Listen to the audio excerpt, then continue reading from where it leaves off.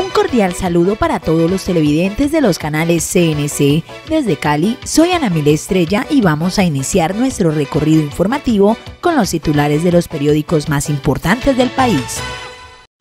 Para el día 15 de enero del año 2020, nuestra información empieza desde la ciudad de Pasto con el Diario del Sur.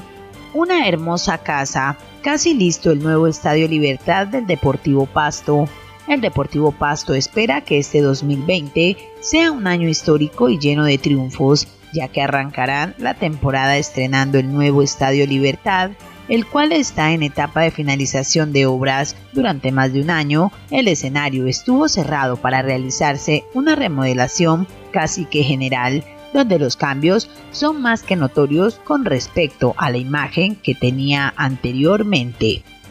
Desde la capital de la República, El Tiempo titula. Las 25 plataformas que ya hicieron lo que Uber no ha querido. La ministra Ángela María Orozco indicó que por ahora la única salida legal para mitigar la situación de los usuarios de esta plataforma es que presten el servicio en vehículos de transporte público de placa blanca, un paso que ya han dado a la fecha 25 empresas desde 2017 y otras empresas de taxis que han querido operar usando plataformas. Continuamos en Bogotá con el diario El Espectador. Van 50 incendios en Santa Marta por altas temperaturas y fogatas en zonas verdes.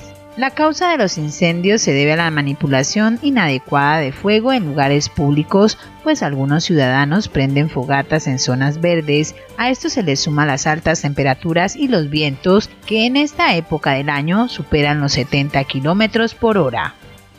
Ahora pasamos a la ciudad de Cali con el diario El País.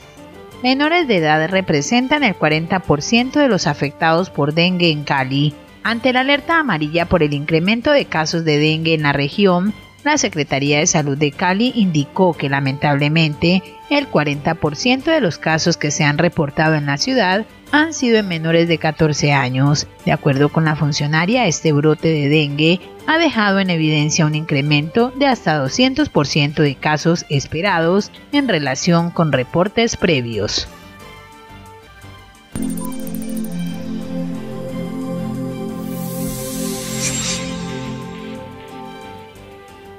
La noticia más importante que tiene hoy el Universal de Cartagena es la siguiente.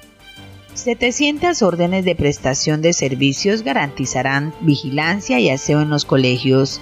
La Alcaldía de Cartagena, a través de la Secretaría de Educación, busca garantizar el aseo y vigilancia en los colegios públicos. La medida provisional fue tomada mientras se surte el proceso de licitación pública de estos servicios que, según el distrito, no se ajustan al presupuesto vigente.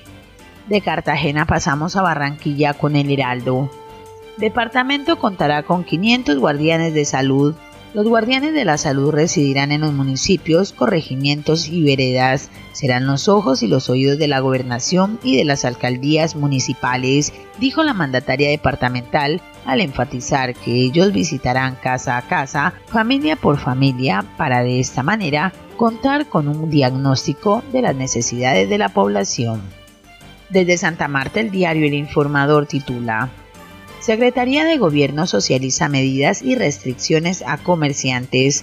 Entre las medidas adoptadas están las de vender bebidas alcohólicas y refrescos en envases de plástico y Tetra Pak, nada de botellas de vidrio, sobre todo en el desarrollo de los eventos durante los cuatro días del Festival del Caimán Cienaguero. El jefe de cartera de gobierno aprovechó la oportunidad para expresarles a los comerciantes que cuentan con todo el respaldo de la administración.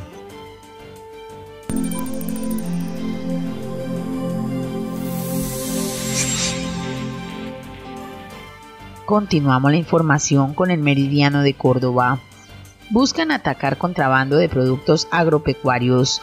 De acuerdo con lo establecido en la circular conjunta número 03 de 2019, el ICA será el responsable de ordenar el sacrificio de los animales o destrucción del material vegetal y la disposición final de los mismos, emitiendo un concepto sanitario o fitosanitario dentro de las 24 horas siguientes a la incautación o aprehensión. Seguimos nuestro repaso con el colombiano de Medellín.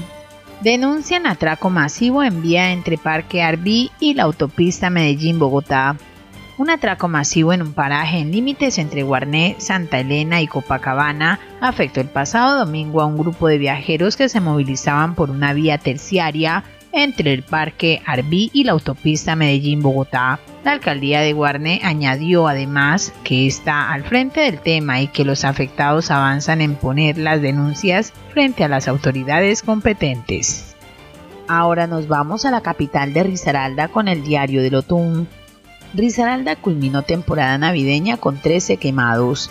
Esto representó una reducción superior al 40%. En total fueron 5 menores de edad lesionados por este tipo de elementos y 8 adultos. Solo 4 de los 14 municipios de Risaralda registraron personas quemadas por pólvora. Se trata de Pereira, Santa Rosa de Cabal, Dos Quebradas y Marsella. En el resto de localidades no hay reporte de quemados, según datos del Instituto Nacional de Salud. Y finalizamos nuestros titulares desde Quibdó con el semanario Chocó 7 días.